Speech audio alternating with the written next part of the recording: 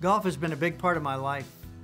Since I can remember, I've played golf in college, I've played on the tour. But the greatest experience I had that changed my life happened 40 years ago at the University of Florida when I accepted Christ as my personal Savior and Lord. The Mulligan book is a wonderful book, uh, a story about an old pro Willie Dunn and a corporate man that he befriends.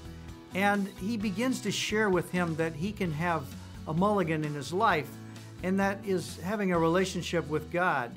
And it comes through the ultimate mulligan that's accepting his son, Jesus Christ. As Ken Blanchard says, my partner in the book, that life is something that happens to you while you're playing golf.